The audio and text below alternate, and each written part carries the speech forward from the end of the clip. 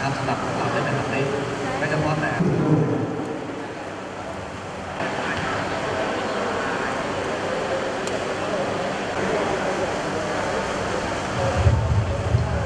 ของ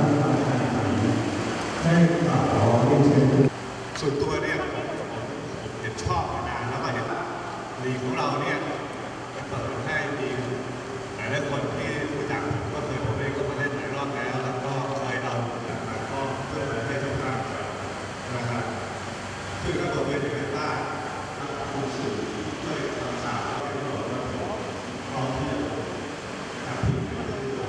นำทีมในสายล่างสองดิวิชั่นคือสองระดับนะครับเอ่อทีมสายบนเป็นที่นั่งซึ่งในปีหน้านี่ต้องอนุญาตเรียนว่าแล้วก็ท่านคุณและบริษัทของที่นะครับที่คุณประชาชนทุกคนนะครับสำหรับบริษัทของที่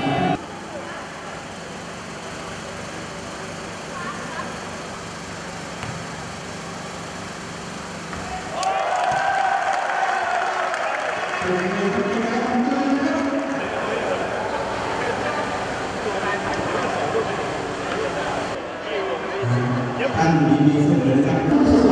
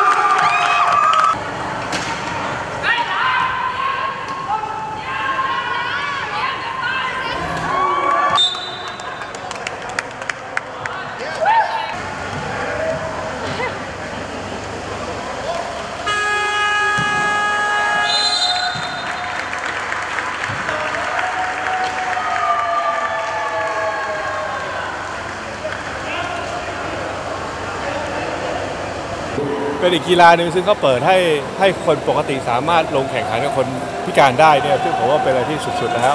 ในต่างชาติอเมริกาหรืออังกฤษเนี่ยได้รับความนิยมค่อนข้างสูงนะครับผมเองเห็นจากต่างประเทศมาก่อนหลายปีมาแล้วแล้วก็มีความรู้สึกว่าเออ ตัวเองอยากเล่นเลย